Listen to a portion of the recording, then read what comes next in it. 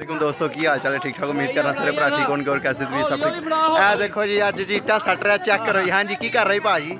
ਤਾਂ ਸੁਣ ਰਿਹਾ ਭਾਈ ਮਜ਼ਦੂਰੀ ਕਰ ਰਿਹਾ ਹਾਂ। ਹਾਂ ਵਾਹ ਇਹ ਵਾਹ ਕੀ ਬਾਤ ਹੈ ਜੀ ਕੀ ਬਾਤ। ਚੈੱਕ ਕਰੋ ਕਰ ਮਜ਼ਦੂਰੀ ਤੇ ਖਾ ਚੂਰੀ ਹੈ? ਕੀ ਕਰੋ? ਕਰ ਮਜ਼ਦੂਰੀ ਤੇ ਖਾ ਚੂਰੀ। ਹਾਂਜੀ। ਇਹ ਥੱਲੇ ਵੇਖੋ ਤੁਹਾਨੂੰ ਮੈਂ ਥੱਲੇ ਕੈਮਰਾ ਵਹਾਨਾ ਵੇਖੋ। ਦੋ ਦੋ ਇੱਟਾਂ ਫੜ 500 ਬੰਦਾ ਲੱਗਾ।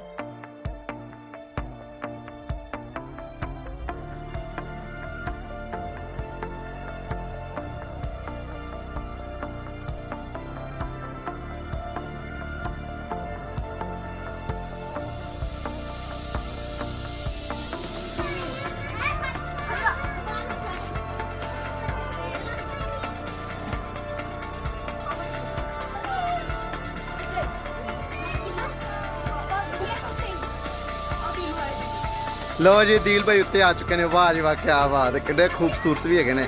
ਦੀਲ ਭਾਈ ਤੁਹਾਡੀ ਸ਼ਾਦੀ ਹੈ? ਕੋਈ ਦੱਸੋ ਜਰਾ ਖਾ ਕੀ ਰਹੇ ਕੱਲ ਦਹੀਂ ਸ਼ਹੀ ਖਾ ਰਹੇ ਕਿ ਦੋਸ਼ੋ ਤੋਂ ਕੋਈ ਦੱਸੋ ਜਰਾ? ਦੇਸੀ ਕਿਉਂ ਦੇਸੀ ਮਾਸ਼ਰਾ ਦੇਸੀ ਘਿਓ ਵਾਲੀ ਸ਼ਕਲ ਐਵੇਂ ਤੇ ਨਹੀਂ ਹੁੰਦੀ? ਜਿਵੇਂ ਮਾਸ਼ਰਾ ਤੁਹਾਡੀ ਇੱਧਰ ਤੇ ਆਓ ਕਿ ਅਦੇ ਕਿਨੂੰ ਇੱਟ ਮਾਰੇਗਾ? ਮੈਂ ਤੇਰੇ ਚਪੇੜਾ ਵੀ ਮਾਰਾਂਗਾ ਤੂੰ ਇੱਟ ਮਾਰੇਗਾ। ਇੱਧਰ ਤੇ ਆਓ ਦੀਲ ਭਾਈ ਅਦੀਲ ਭਾਈ ਇੱਧਰ ਤੇ ਆਓ। ਅਦੀਲ ਭਾਈ ਹੈਲੋ।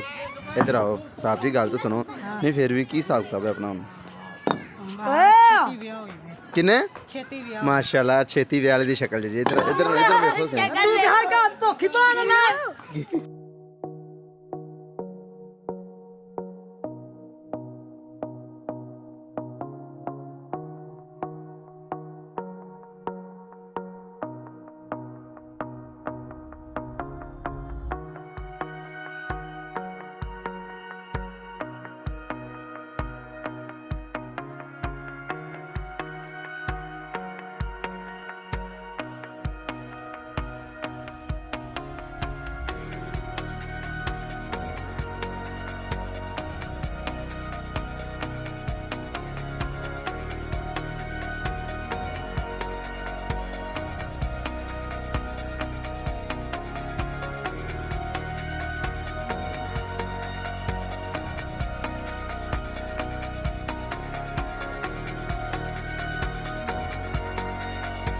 ਦਿਲੂ ਦੀ ਤੇ ਦਿਲੂ ਦੀ ਭਤੀਜੀ ਹੈ ਜੀ, ਮੇਰੀ ਬੇਟੀ ਹੈ ਤੇ ਅੱਜ ਦਾ ਆਪਣਾ ਵਲੌਗ ਖਤਮ ਹੋ ਗਿਆ ਠੀਕ ਹੈ, ਅਸਲਾਮ ਅਲੈਕਮ, ਕੋਈ ਵੀ ਗਲਤੀ ਤੇ ਮਾਜ਼ਰਤ ਵਲੌਗ ਅੱਜ ਆਪਣਾ ਖਤਮ ਹੋ ਗਿਆ ਹੈ ਤੇ ਆਪਣੇ ਭਰਾ ਦਾ ਚੈਨਲ ਤੇ ਲਾਈਕ ਤੇ ਸਬਸਕ੍ਰਾਈਬ ਕਰੋ। ਬਾਈ ਲੱਖ ਦੀ ਟੱਲੀ ਜ਼ਰੂਰ ਜਾ ਤੁਹਾਨੂੰ ਤੁਹਾਡੀ ਮਸ਼ੂਕਾਂ ਦਾ ਵਾਸਤਾ ਹੈ, ਠੀਕ ਹੈ? ਓਕੇ ਅੱਲਾ ਹਾਫਿਜ਼, ਅਸਲਾਮ